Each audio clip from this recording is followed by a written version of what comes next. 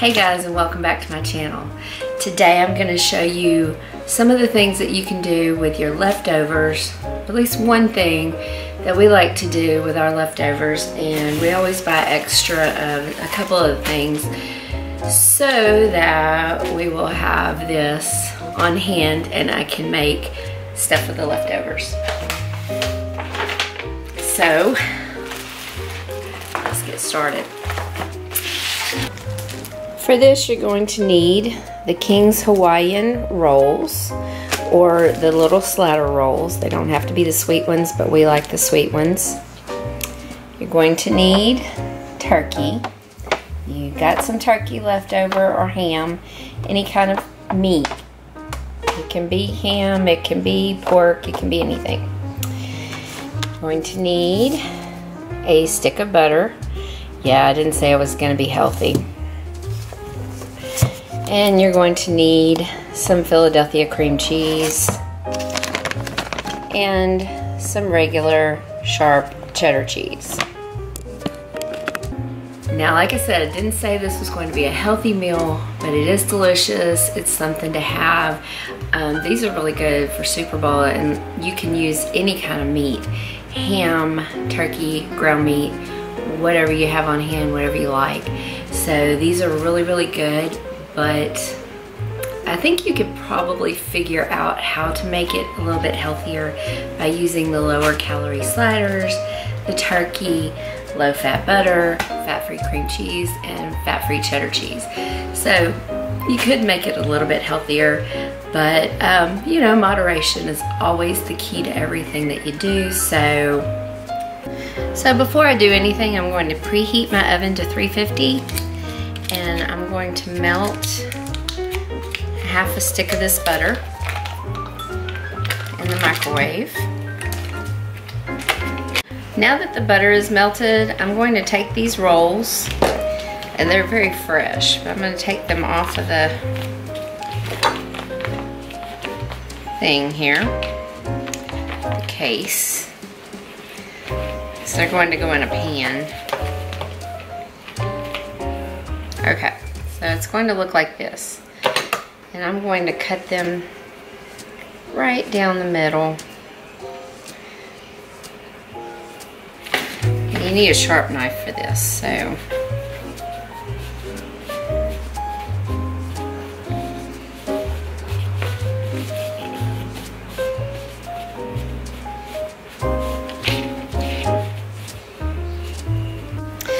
So now I've got the rolls cut in half. Looks like this. It was a little fresh, but got it done. Now I'm going to cut this and put it in little pats all over cream cheese. I mean, I'll put it in little pats all over the bottom of the rolls there.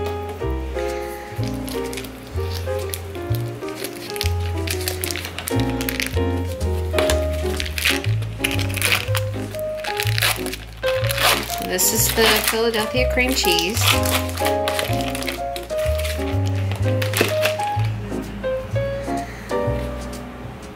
Now this step is what actually makes these sliders taste so good. I don't know that I'm going to use the whole thing, but I don't mind. You could also use the Laughing Cow wedges, which are really good. Just think it would take a little while to peel all of that laughing cow.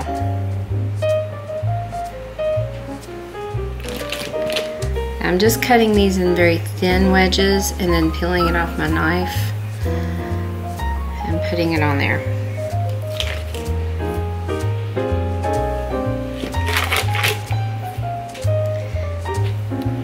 It does look like I'm going to end up using whole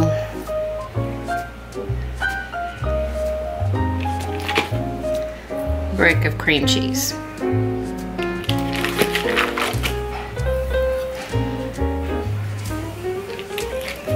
I'm going to take the other half of the stick of butter.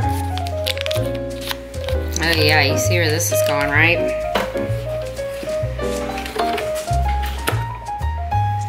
I'm just gonna kind of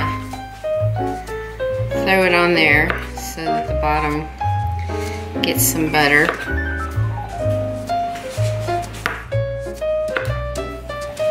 this is something that my family requests every year. So it is delicious. Now I'm gonna use this whole half a stick of butter so that you can see how delicious this is gonna be. But you can cut it down and not use cream cheese or not use as much butter. It, the fun of this is that you can do whatever you want to it and it's still gonna be good. All right, now I'm gonna take my turkey and I have a lot of turkey, so I'll take some of it and I'm gonna do the dark and the light meat and just sprinkle it on there. My husband's so kind that he chops it up before we even eat it.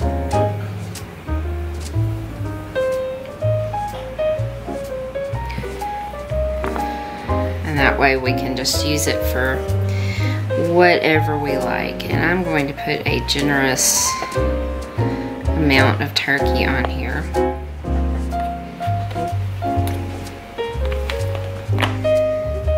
Because we have so much.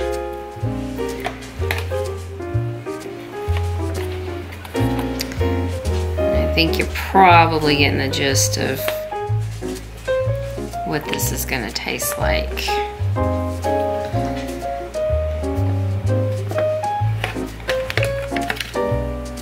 There's only a couple more steps. Turkey there.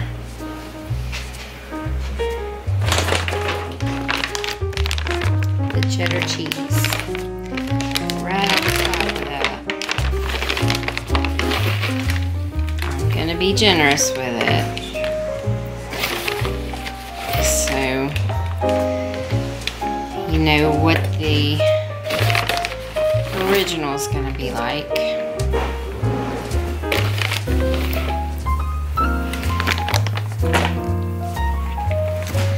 Alright, then I start placing the rolls back on the top, like so. So now it just looks like this. Now I'm going to take that butter that I melted this over here.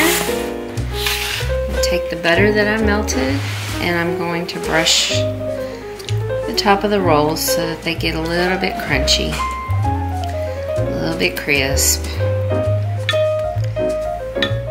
This is really good just as a weeknight dinner because you can throw anything on there that you want.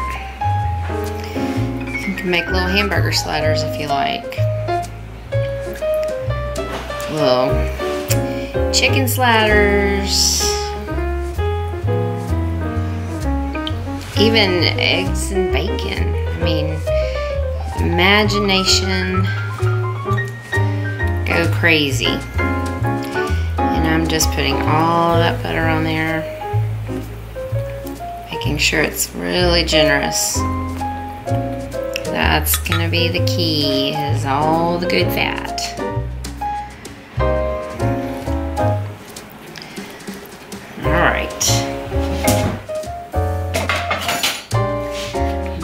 What it looks like, and now I'm going to bake it in the oven until the tops are brown, the cheese is melted, and then we'll come back and see what it looks like.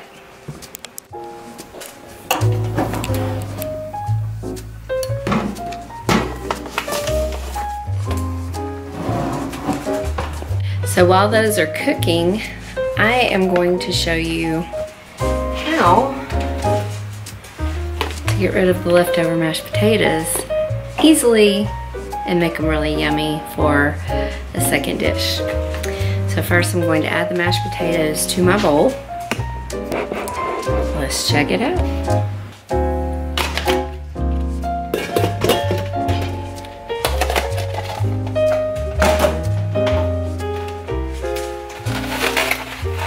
Need a binder. So here's your binder. Going to chop up some green onions. Give it a really good flavor.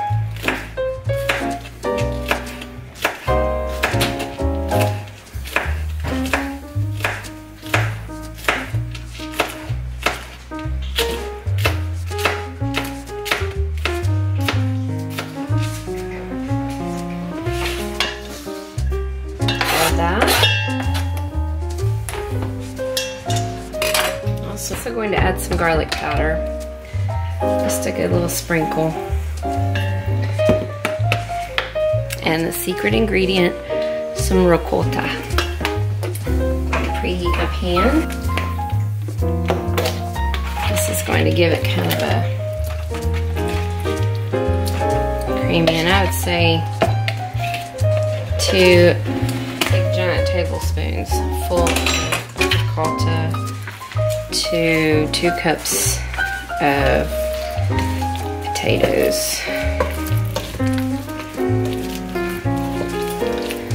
I'm going to stir this so that all those good ingredients get mixed together.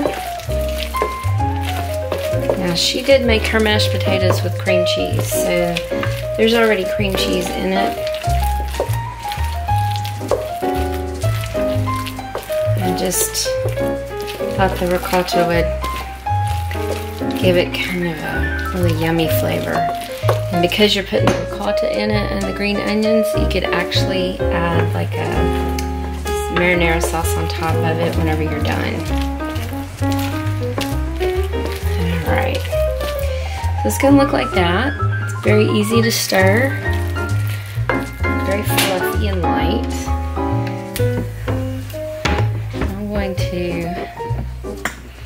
With me. I'm going to spray my pan. It's been warming up with some Pam, butter flavored Pam. And I'm going to put my potatoes down there in blobs.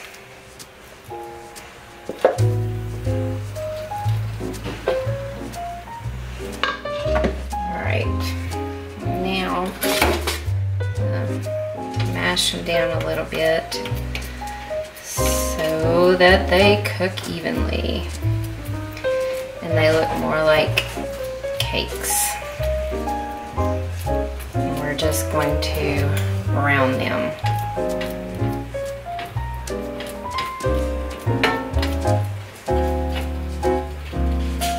Hmm. I under I overestimated the um, room I had in my pan. That's okay. Everything's gonna cook beautifully.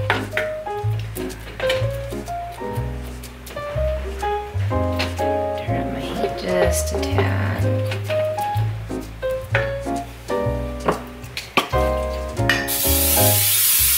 I'm gonna put some Pam on top so that can be soaking and I won't have to put it on there later. So I'll let these cook and we'll be back. Okay, so this batch I had to do a little finagling to get it to work because it was a little too creamy. So I added some oil to fry it, turned up the heat, and then on top I added some panko crumbs. So to my other batch, I'm going to add the panko crumbs and an extra egg to really get it to bind and kind of dry it out a little bit. These were just a little too wet, so they didn't really set like I wanted them to.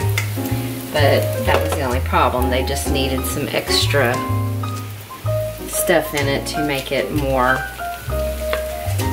mashed dry. So, panko crumbs are in here, an extra egg, and these should fry up beautifully like I wanted the first batch too. So we shall see. As far as how many panko crumbs I put, I just added them to the top of these so that they would fry up really pretty and bind together so and in the bowl. Just added some until they kind of looked a little more dry.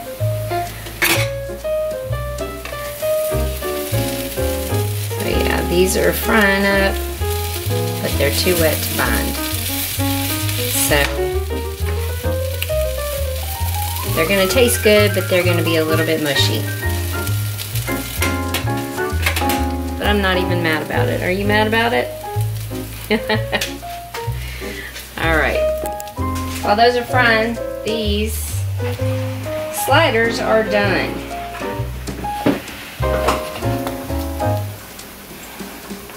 Yum.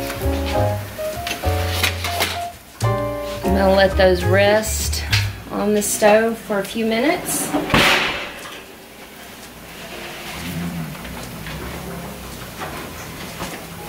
And get a plate to plate up get a plate to plate up my mashed potatoes.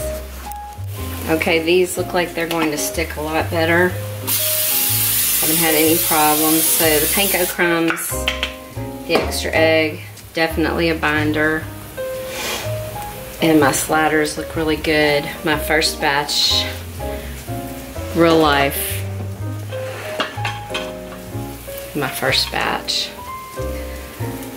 yeah, didn't turn out quite like I wanted, but the first batch of potatoes did not turn out exactly like I wanted them to, but real life, when you're experimenting in the kitchen, that's the way it goes. The second set of potatoes will do much better, but the flavor, let's see what the flavor of the first ones tastes like, because I bet They're delicious. They're creamy with a little crunchy from the panko. I like that. So, add that with your sliders, which are going to be delicious. Once I plate those up, you'll be able to see that I'm letting it cool and kind of rest. So I make sure the cream cheese is really, really cooked in there and hot. So I'm just gonna let those sit for a little bit and I'm frying up these, the second batch here. So, should be good. All right, so moment of truth with the sliders.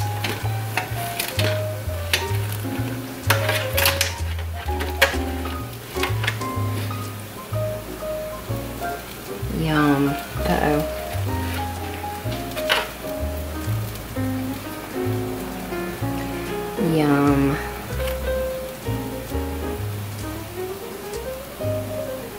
That looked good. Lost the bottom to that one.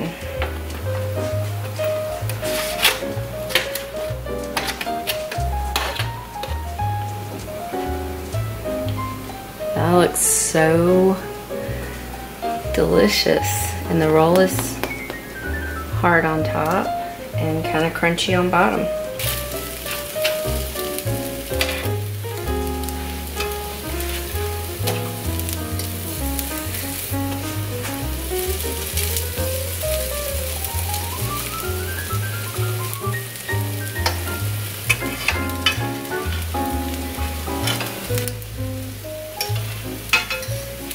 So my potatoes were a little bit more of a disaster. I think I would have added more egg and more panko crumbs to really set it in there.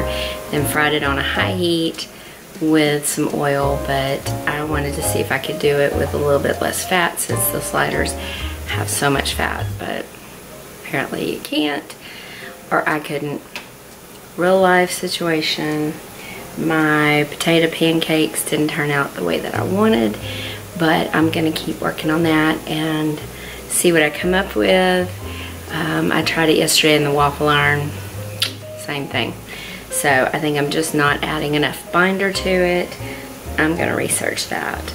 But hopefully you like this real life cook with the leftovers because these potatoes are still to be yummy and crispy on the outside and delicious on the inside. They've got the green onions and the ricotta and I think that they'll really taste flavorful and yummy and delicious. So even if they're kind of a hot mess, they're gonna taste good. My favorite thing in the world is french fries. So it's got that little bit of a crunchy french fry flavor, but a mushy middle like a mashed potato. And then you got that cheese. Now I think if I used a different cheese, not a, the ricotta is kind of a wet cheese, so I think that kind of contributed it, contributed, contributed? I think that that added, I think that that added to the fact that it wasn't binding the way that I wanted, but it's still gonna taste good and that's gonna take care of a lot of my leftovers. I hope that it gives you some great ideas and let me know below what is your favorite thing to do with leftovers for Thanksgiving because you know, I'm always looking for different things to do. So give me some ideas, hit me up. And I hope that you will subscribe and stay tuned to this purple haired old lady because I've got lots more in me to give you. And here's how everything turned out. Yum.